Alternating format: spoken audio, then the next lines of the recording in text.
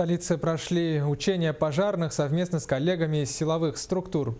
Объектом возгорания обозначили здание котельной. Репортаж Юрия Осипова.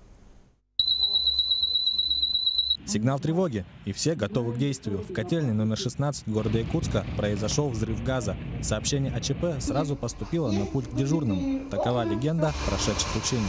Эти синие флажки обозначают зоны сильного задымления, в которых невозможно находиться без специального оборудования.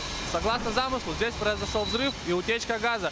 Спасатели прибудут буквально через 5 минут. Через несколько минут на месте уже развернута техника. Спасатели, пожарные и сотрудники медицины катастроф все работают как один механизм. Рассматривались а, проведение комплекса газоспасательных работ, тушение пожара, а также условные мероприятия по локализации, ликвидации разлива нефтепродуктов.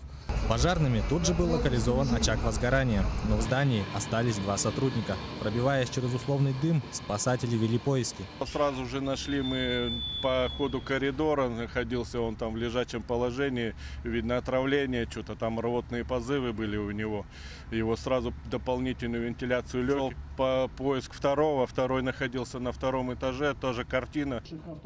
Происшествие завершилось благополучно. Условные пострадавшие были спасены. Подобные совместные учения проведены впервые. Они направлены на разработку слаженной работы разных спасательных формирований. Работе спасательных групп была поставлена высокая оценка.